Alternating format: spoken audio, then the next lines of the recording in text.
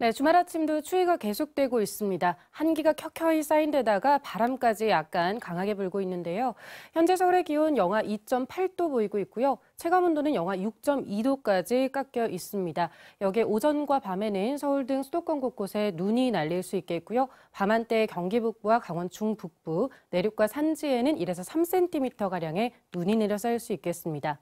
동해안 지역에서는 계속해서 화재 예방에 주의하셔야겠습니다. 특히 영동 지역을 중심으로는 건조주의보가 2주 넘게 이어지고 있는데요.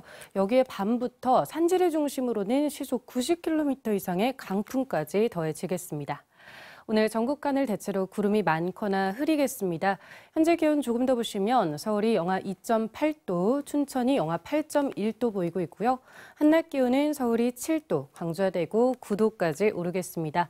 다음 주 화요일과 수요일 무렵이면 서울의 낮 기온 다시 11도 안팎까지 오르겠고요. 다음 주 수요일쯤이면 중부 지역에 비나 눈이 내리겠습니다.